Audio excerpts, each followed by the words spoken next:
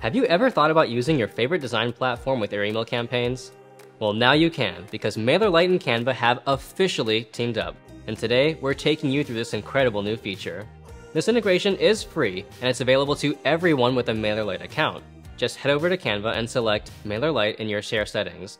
If you're using Canva and haven't tried MailerLite yet, there's a free account waiting for you to get started. Just check out the link in the description. Now let's jump into it. This integration is fairly straightforward and easy to use with no installation needed. I know what you're thinking. I thought this was a MailerLite tutorial. We'll get there in a minute. But to begin using Canva with MailerLite, here's how to get started. Head over to Canva and create your design. For this video, let's go with an email header that we can use for all of our emails. Once you've got your design, hit share and then hit more. Scroll all the way down until you see the MailerLite icon. If this is the first time you're using the integration, you may need to use the search bar to find MailerLite. Once you find it, you'll need to connect your account. Once you hit connect, you'll be taken to MailerLite to log into your account.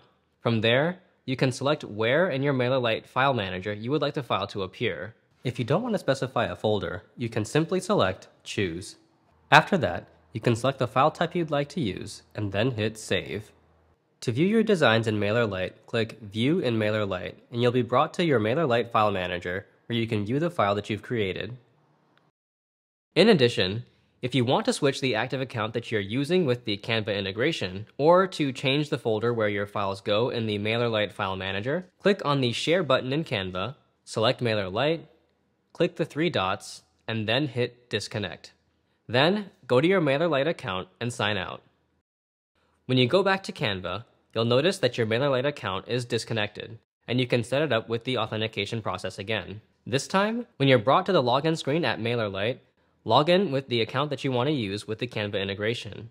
Keep in mind, this integration is only available on the new MailerLite. Designs won't be directly shared to MailerLite Classic accounts. Your MailerLite account must also be in an active status in order to use the integration. If you try to connect Canva to your MailerLite account and see an error stating, there was a problem connecting to your account, this just means that your account is still awaiting approval or is inactive for some reason. You'll need to resolve this before you can get to creating with this specific feature. With Canva's game-changing graphic design tools and MailerLite's intuitive drag-and-drop editor, you've got the setup to create professional, trending email content at your fingertips. And if you've enjoyed this video, don't forget to hit like and subscribe for more awesome updates. Thanks for watching, and happy editing.